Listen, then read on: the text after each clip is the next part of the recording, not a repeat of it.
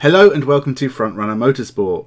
And as we head ever nearer to the end of 2021, we are seeing more and more race series come to an end for the year.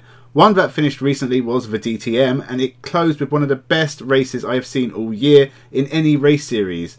It was an absolute classic, with three drivers fighting for supremacy, drama, action, and a surprise winner. But DTM has not always been this way, so let's take a look at the rise and fall and rise and fall and rise of the German touring car slash GT series. Nearly at 500 subscribers now, so hit that button and get us to that next big milestone. And with that, let's begin.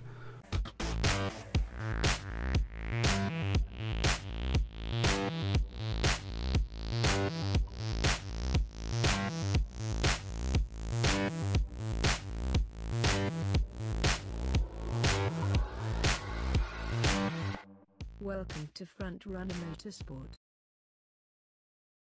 The first DTM series, or Deutscher Produktionswagen Meisterschaft, was held in 1984 and was literally a German touring car championship. It was almost a replacement of the old Deutsche Rennsport Meisterschaft, which ran until 1985 and had originally started as a touring car championship but now had a field of expensive and powerful Group C sports cars instead and was being dominated by Porsche.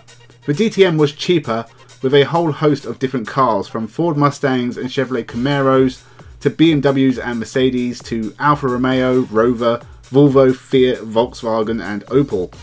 It was a diverse championship if nothing else, won by Volker Strycek in a Gubin Sport BMW 635 CSI, despite not winning a race all year, which must have pissed off the DTM organisers.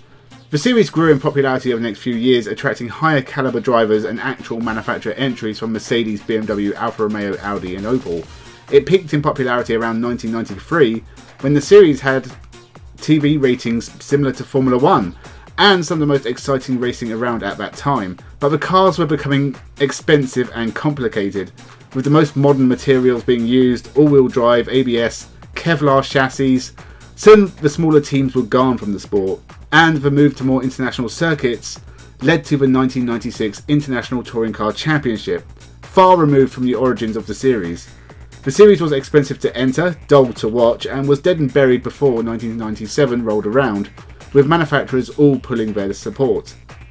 The series was revived in the year 2000 with Opel and Mercedes entering the new championship, now known as the Deutsche Tourenwagen Masters. With one eye now kept on keeping costs down and keeping a large part of the series in Germany, it did still keep its history, which made it a rare case of a new series having a prestigious history to fall back on. Abt Sportsline were a late entry to the series with a special dispensation given to their TTs that didn't technically fit the rules, but was allowed to enter anyway. Some top class drivers returned, such as Bernd Schneider, Manuel Reuter, Klaus Ludwig, Joachim Winkelhock, Stefano Modena. Honestly, there are a ton of top class names in the field, but no one could stop Schneider from adding to his 1995 championship win. Audi would enter as a manufacturer in 2004, and all three car makers involved decided to switch to saloon shaped cars and move away from two door coupes. But Opel would leave the championship before 2005 as part of a company wide cost saving effort. Mercedes and Audi continued on with some epic battles between Gary Paffett and Mattias Ekstrom, along with other big names such as Mika Hakkinen, Bernd Schneider, Ralf Schumacher, Heinz Harald Frentzen, Laurent Aiello, Christijan Albers, and many others. This, in my opinion, was the best era of DTM, with drivers even landing Formula 1 drives. 2010 champion Paul di Resta ended up at Force India in 2011, and 2015 champion Pascal Wehrlein would move to Manor and Sauber. At some point, though, there was a downturn in entertainment value. A lot of the older names had retired from the sport or moved on, and the racing had got gimmicky and dull. BMW joined the series in 2012 and immediately dominated their first DTM season in 20 years. And in 2013, the drag reduction system from Formula 1 was introduced, apparently to make racing more interesting. But, in my opinion, DRS has done the opposite in both series. They fiddled with the format of race weekends and changed qualifying and moving from laps to a time limit for the races, but the DTM became a very hard series to watch. Mercedes left the series after 2018, Aston Martin came and went in 2019, and 2020 saw a battle between Audi and BMW, with Rene Rast taking his third title. But Audi announced their intention to leave the series after 2020, with DTM fast becoming a one make series with 10 BMWs in the field. Big changes needed to be made, so the series moved to a GT3 format. This allowed private teams and new manufacturers to get their foot on the grid, with Audi and BMW joined by a returning Mercedes, as well as series debuts for Ferrari, Lamborghini, McLaren and Porsche. It also brought some big names with Alex Albon and Liam Lawson driving for Ferrari, Maximilian Gotz and Daniel Juncadella returning to the series as well as some old hands in Marco Wittmann and Mike Rockenfeller, amongst many others. I was sceptical about the move to GT because there are already so many GT series out there. I thought DTM might just become another GT series.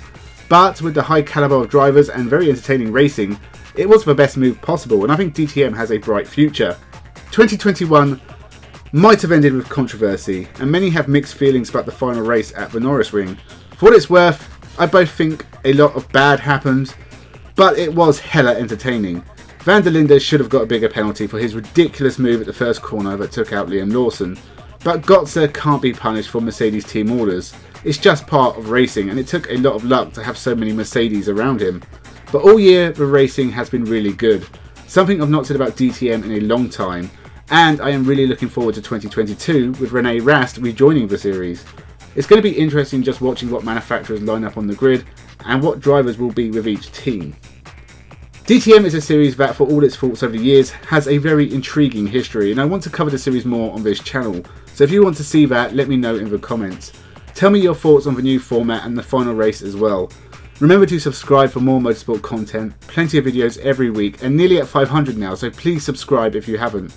Leave a like and tell your friends as well as hitting the bell to be notified when new videos are released. Thank you for watching and have a good one.